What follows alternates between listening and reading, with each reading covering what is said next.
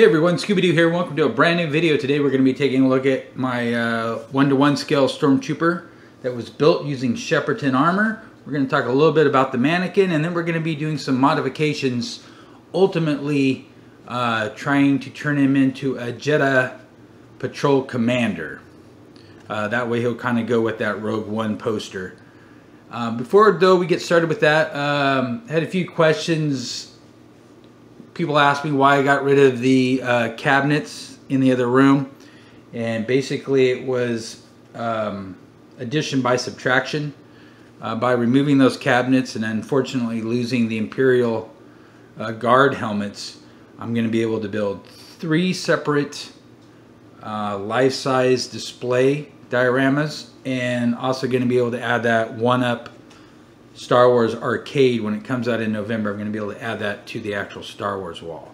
So it was just a matter of what I really wanted in the room, and I got a lot more by removing the cabinet. so that's what I decided to do. So first with the Stormtrooper, we'll just take a quick look at him. Um, I want to start off with the mannequin really quickly.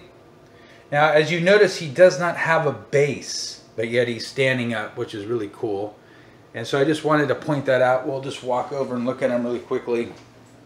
Um, he uses a calf stand, which is still right there, but I actually removed the actual base part. And he stands up just fine with just that little part right there. Makes him real easy to move. And again, he looks really great. Um, just kind of standing there. It kind of makes him look more real opposed to uh, being a mannequin with some armor on him.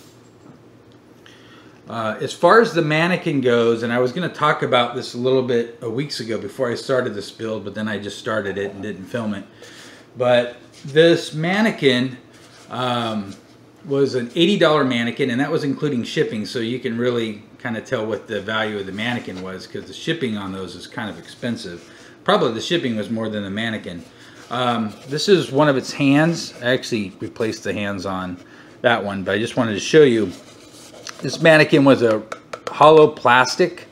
Most of your nicer mannequins are a resin type of base um, sculpt.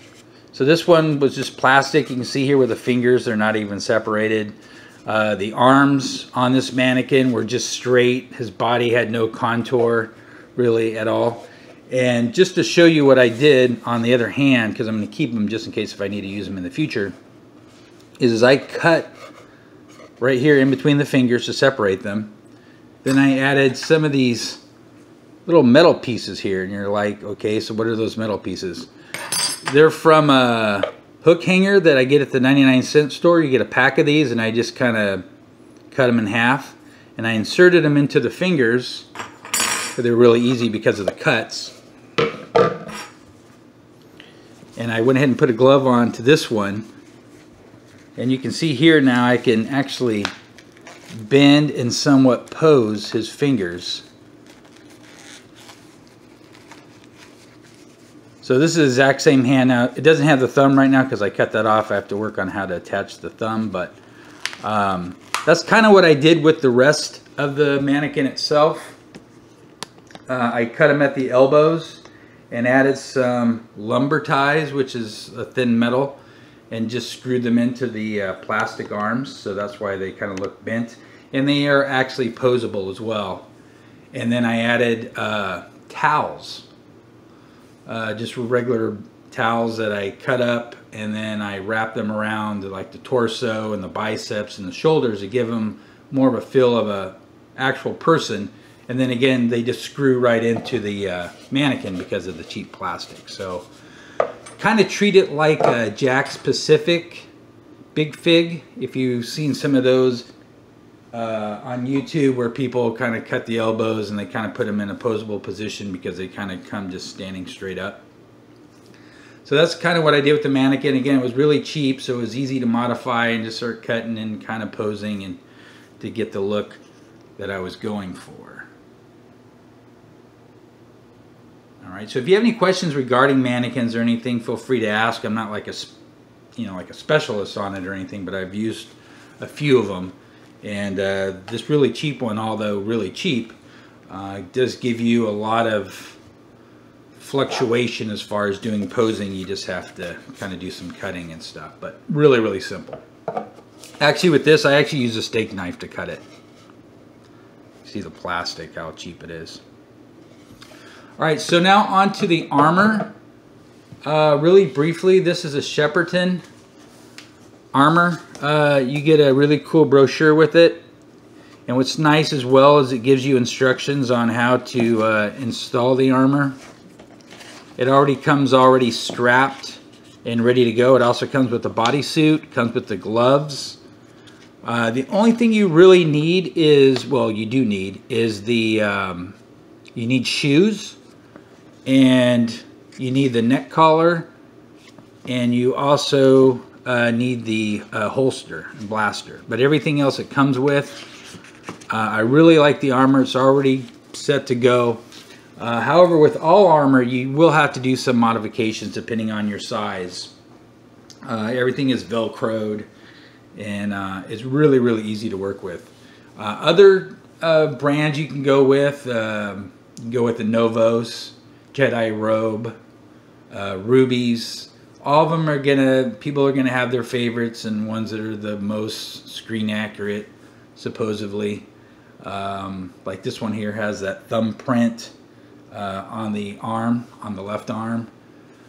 Again, that's something that I didn't know about, but um, you know, if you're hardcore, it's something that people look for, uh, how the armor is attached with screws, Already made mention of the helmet, which I don't really care for. That's not the actual helmet that comes with it. That's a black series, but um, I'm more into the modern type of armor. Uh, although the armor that was made in the 1970s from Star Wars was good, um, for display I prefer to have something that's manufactured in today's time. Uh, it's a little bit neater and less flaws to it. Uh, but also too, you can order uh, kits off eBay, anywhere between three to four hundred dollars. Some of them are fiberglass, some are 3D printed. Uh, some you have to do the painting on, or the trimming, or the sanding. Some come almost complete, where you just have to add the strapping system. And again, the Shepperton one is just just about ready to go out of the box, minus the shoes, the neck collar, and the holster. Um, and you do get this little uh, authentication uh, card with it. The Shepperton design. So there we go. If you have any questions regarding the armor, I'm not really an expert on it. I haven't done any cosplay with any of my outfits yet. This is just for display purposes for now. Um, but I do think uh, you do have to do some modifications. I do know on the belt, I believe, for the 501st, they prefer you to have, or they want you to have a canvas belt. That is a plastic belt uh, right there. And uh, yeah, so, but I don't want to really go into that as far as the video goes, as far as 501st and everything. This is more for, again, for display. So what we're going to do now is I'm going to uh, take some of the armor off of my Stormtrooper, and we're actually going to start doing some weathering to them. Because again, we're going to do a Jedha Commander, which is very similar to a Stormtrooper, which is my favorite storm, uh, a Sand Trooper, excuse me, which is my favorite type of uh, Stormtrooper, and which allows me to as well is the original Stormtrooper. The middle uh, abdomen area did not have that control panel. However, the Jedha uh, Commander did. Also, too, he has those little white things that are dangling down there on his uh, belt as well. I don't know the name of them. And actually, it looks like I'm missing one, so that means it fell off. So I'll have to look for that as well. But we're going to go ahead and get some of the armor down, and we're going to start doing some weathering.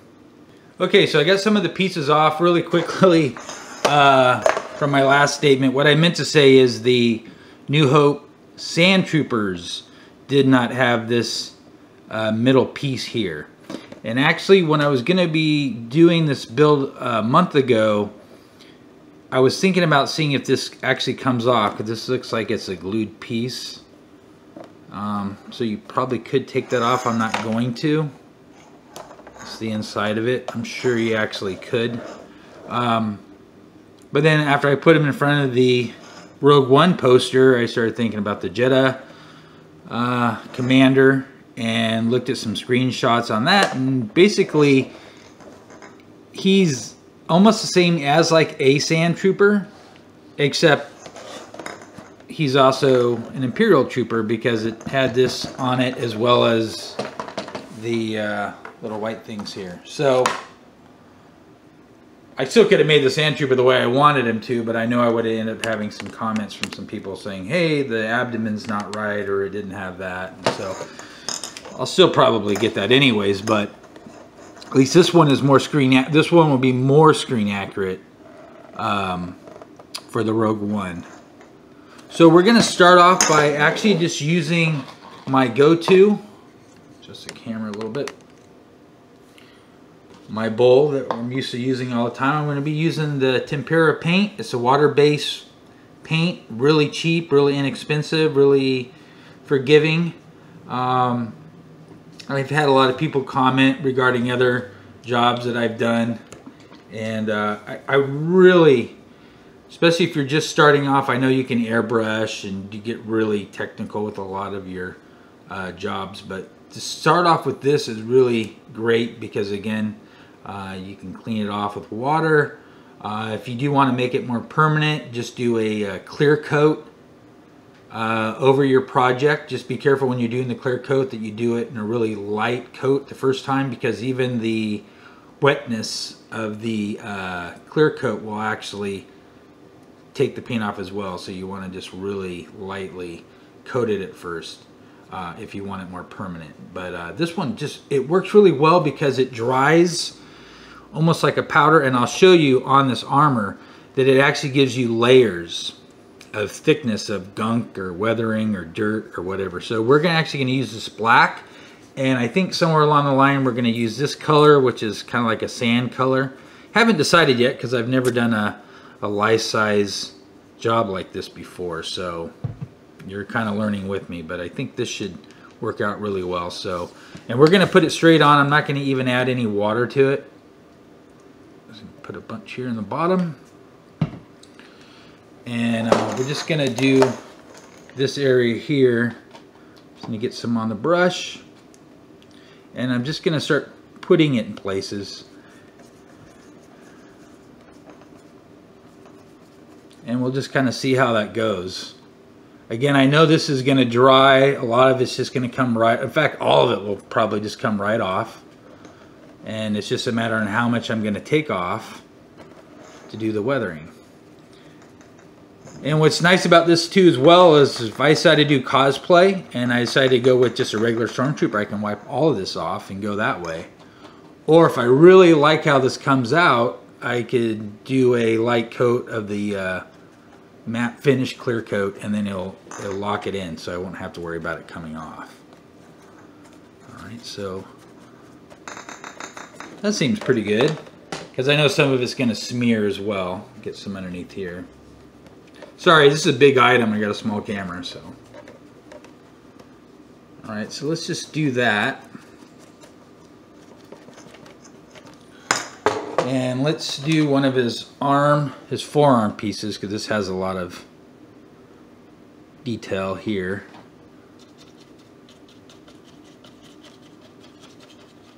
And what we're going to do is I'm just going to let this actually dry. I'm not even going to mess with it. I'm going to try that first because this plastic is so smooth, I'm thinking I'll be able to take most of it off just using my fingers and I won't even have to use a towel that much. And just to show you too on the armor, see this just has a Velcro. You just put this on your forearm and then this Velcro it back up. Really simple. So back here. Now this video is also going to be done into sections because I'm not going to be able to finish this all in one day and I really don't want to finish it in one day. I want to take my time with it. But we'll do this first section here all today.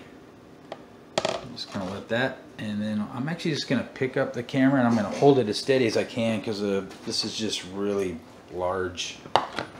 Um, here at the belt. Again, um, I believe the 501st, they uh, go with the canvas belt, which I could see why.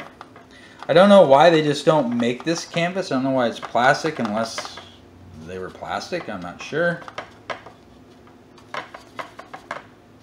And two, after I let this dry, um, again, I'm going to try to add some of the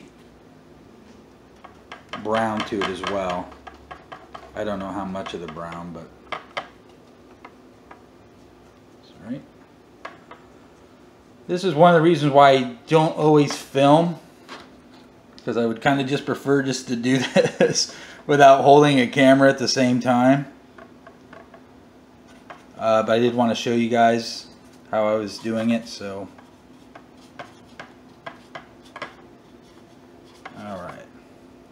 So I'm just going to stop right there.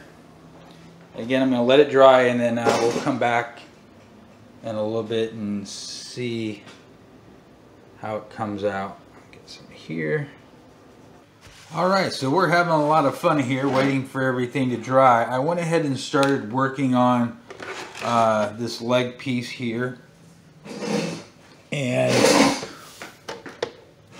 wanted to experiment with the uh, gold or brown color. I'm not sure if it's really coming out or not. I might add a couple more uh, layers to it. Because they did have sand, so there was like a yellowish um, tint that they had around the crease areas. Um, but you can see here where I've done some of the weathering. And again, you can come in here and take off what you want with your finger. You can re-wet it, take off even more. So I think I am going to go back with the gold uh, a little bit more because I want more of a sandy kind of look as well is the black. And again, this comes off. So this is one piece I just worked on while the other was drying. Uh, but now let's go actually to the abdomen area. And I'm just going to show you really quickly. This stuff can just come off. And that's what I like about doing this weathering is I can take off what I want. I can leave what I want. Get this up in here. See how clean that can come out? Now, if I want to start darkening this area, all I have to do is uh, add some water. So actually I'm going to just use this rag right here. And I'm actually going to get it wet just a little bit. Give me just a second.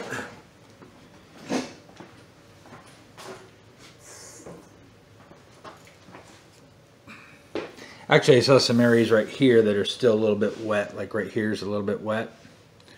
So you can see here I get a smear. I might just leave that for now, let it dry and come back again. Um, when doing your weathering, it has to look random or it doesn't look correct. That's why sometimes uh, also too I get people ask me like, well, why did you paint that and that if you ended up taking it off? Because I don't know exactly where I want everything to be. And when it looks right, it'll just look right. So we'll go in here. Take this off.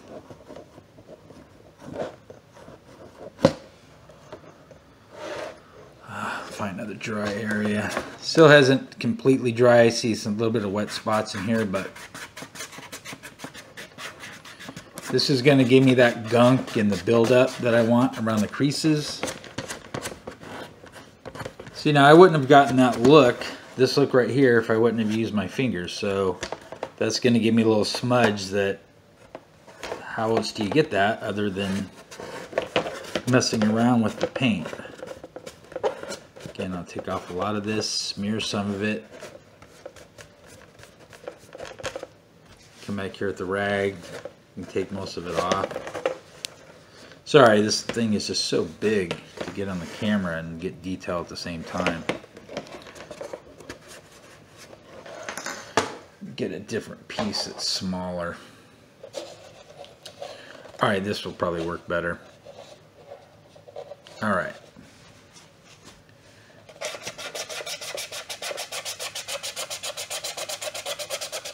There we go. Again, I'm just using a dried finger. You, you got a whole bunch of them to use. See, now I might like that look. Or I might think that's too much. But that's a complete random design that I got. Here.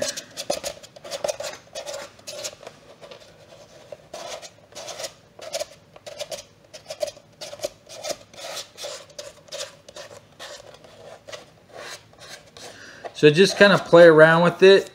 I actually want to get this a little bit wet because I want this to have a little bit of color, but not a lot.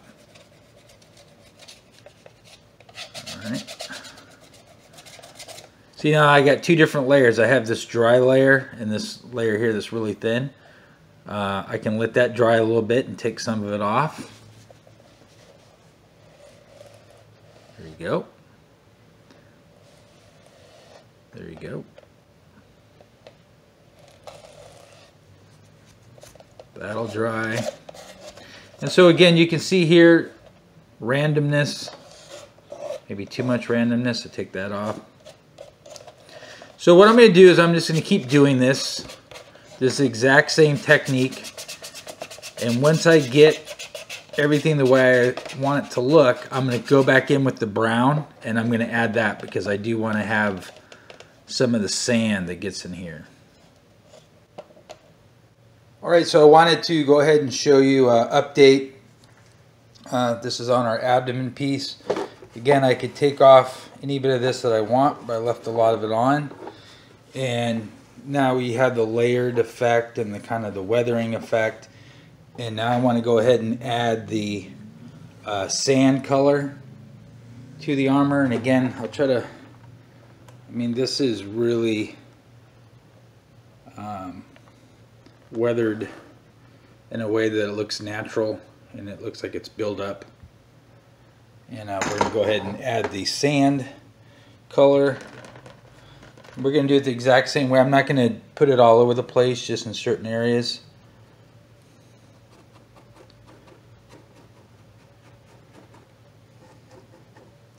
Where I think the sand would have built up. And then once this dries, uh, I'll do the same kind of technique.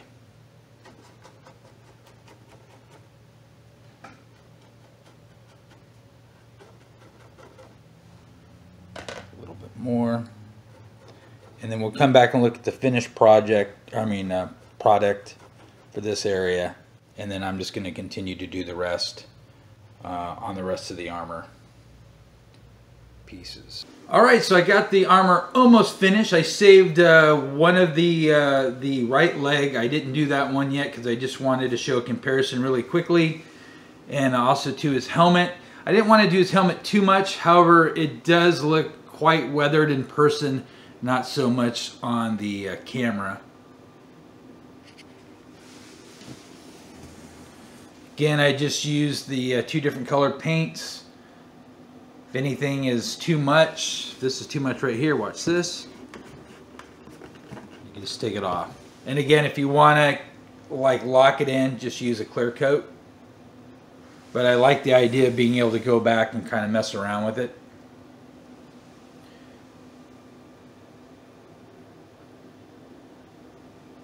Let's go ahead and take a look at the actual armor set here, and the two legs. I even did the uh, shoe came out pretty good.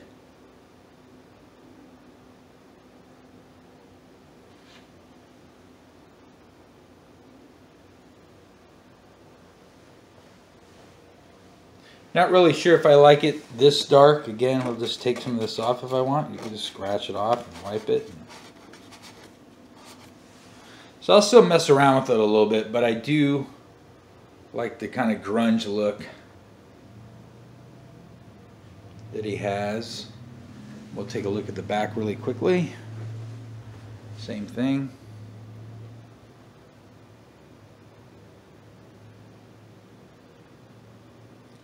I still have to do this. I'll I'll weather this up a little bit along with his uh, right leg and then we'll get him all together and get him in place in the corner and we'll finish up this video.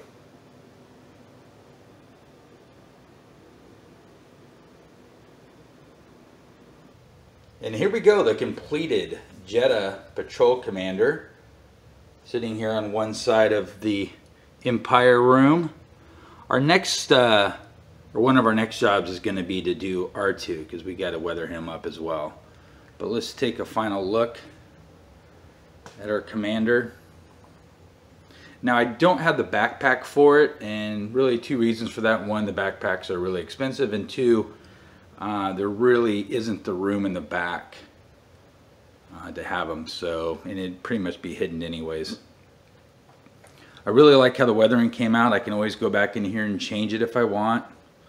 I can add more or take off some of it. Pauldron over here, we weathered that as well, including his holster.